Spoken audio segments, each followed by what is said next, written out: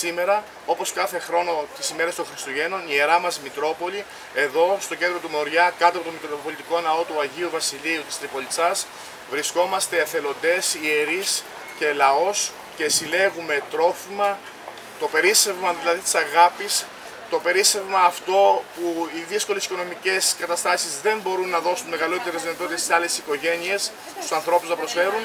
Και αυτό το περίσσευμα της αγάπης φτάνει στο καράστι του αδελφού. Και εμείς το μόνο που θα κάνουμε είναι να το μεταβιβάσουμε και να το δώσουμε με πολύ χαρά και πολύ αγάπη και πολύ ζέση στους ανθρώπους που το έχουν ανάγκη. Ευχαριστούμε όλο τον κόσμο ο Σεβασμιότος Μητροπολίτης μας ευχαριστεί τους πάντες που έρχονται αρρωγοί σε αυτή την παράκληση της Εκκλησίας μας, που έρχονται και προσφέρουν από το ειστερημά τους αυτό το καλάθι του Χουαδεφού. Και το μήνυμά του είναι να μην πεινάσει κανείς.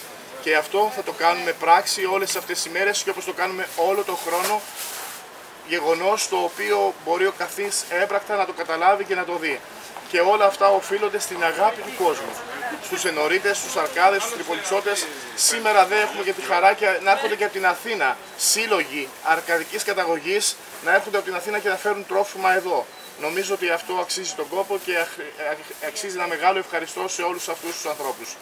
Και ευχαριστούμε και εσάς που είστε πάντα δίπλα μας και μέσα από την προβολή του αγώνα μας μπορείτε και μας βοηθάτε και μας στηρίζετε.